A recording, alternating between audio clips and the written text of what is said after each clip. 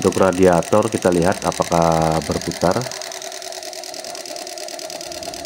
Radiator juga sudah berputar ya lor